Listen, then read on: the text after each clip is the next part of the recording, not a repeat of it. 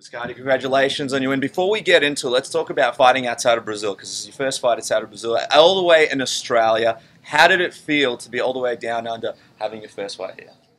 Oh, it's awesome experience fight outside Brazil. Australia is beautiful, remind a lot of Brazil. It's a very nice, organized place. A different from Brazil is all you know about corruption and stuff. So, but I'm very happy to be fighting here in Australia.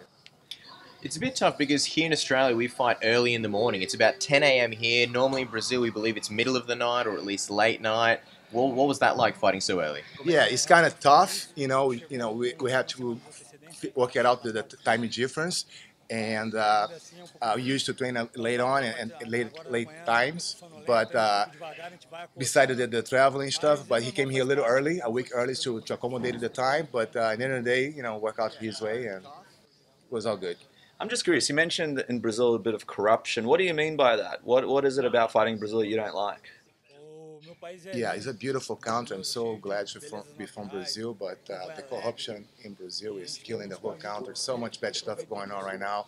It's a bunch of bad people running the country, uh, especially Luiz Inácio da Silva, his group. So it's, it's a shame, you know. We have a, such a wonderful country switching so many things, and you got those people running the country and make you know make a living robbing us. Let's just speak to the fight real quick. What was the game plan coming in? Very, very tough opponent. Um, most people, I think, would think that he was going to immediately try to take it to the ground, but he certainly was happy to stand and bang with him. What was the game plan going in? I came here to fight MMA, so I'm ready to do everything. I'm ready to fight stand up, ground, and uh, he's uh, Walsh was a very tough opponent. So uh, when I was had the opportunity to take him down, uh, I wasn't able to do what I was ready to do.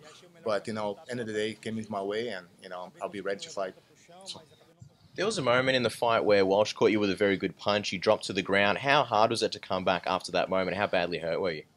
Yeah, he has a powerful punch. Uh, when he got me, I lost my balance. So, but I kind of, you know, took some punches. But he's a strong guy, and I catch up, and I was able to turn around and use my jiu-jitsu and, and get back to the fight.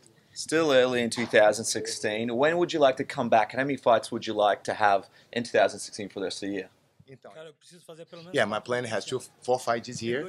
Uh, I fought, I was, I came back for a bad injury. I just came back last November with a, with a good victory. Uh, today I have this very tough fight, but you know, as I was about to get better and fight for you guys and put a good show. And every time it'll be better. I'll show up better, better than before.